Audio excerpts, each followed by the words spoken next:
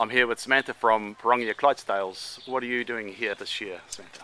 Hi there, Rob. Uh, we are here for the, I think it's about the third or the fourth year with the Pirongia Clydesdales.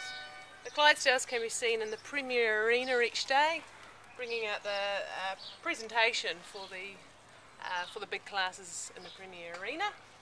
Uh, we are carrying sponsors and VIPs into the ring, so you can see the horses on display at the end of every class and um, we'll do a little bit of a demo in the night performance as well. And who are some of the VIPs you've been carrying around? Oh, um, well, yesterday a few people might know a guy called Sir Mark Todd. Uh, the horses were in the in the street parade through Hastings Township, where we carried Mark Todd through the parade. So uh, that was a bit of a highlight for us, and uh, also other big sponsors here that sponsor the uh, show jumping events, and of course our great sponsors, Fiber Fresh Feeds.